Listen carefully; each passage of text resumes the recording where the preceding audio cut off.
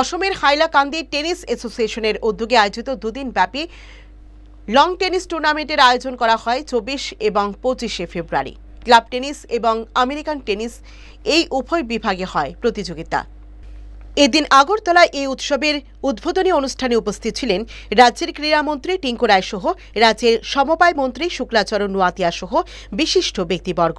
সোমবার থেকে শুরু হওয়া এই সপ্তম উত্তর পূর্বাঞ্চল যুব উৎসব চলবে আগামী উনত্রিশে ফেব্রুয়ারি পর্যন্ত।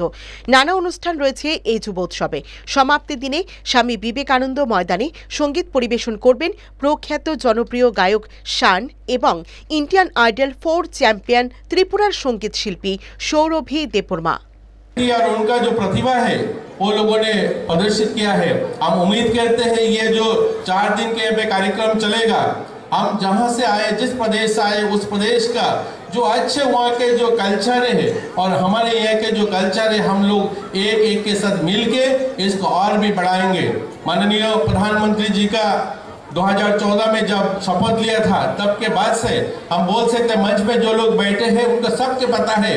नॉर्थ ईस्ट से आज़ादी का 77 इयर्स आज हमारा, और त्रिपुरा के जो करीब 50 साल हो गया है, हमारा जो पूर्ण राज्य मिला है। लेकिन हम इतना साल बाद बोल सकते हैं जो हमारा त्रिपुरा के युवा भी जो रेलवे के स, में बैठ के देश भर में जा सकता है।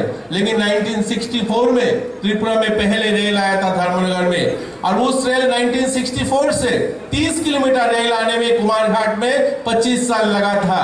और 2014 में प्रधानमंत्री नरेंद्र मोदी जी जब प्रधानमंत्री बना है शाबरूम से बदरपुर तक साढ़े तीन सौ किलोमीटर रेल लाइन नया बनता है पाँच साल में और अठारह रेल आज देश भर में जाता है।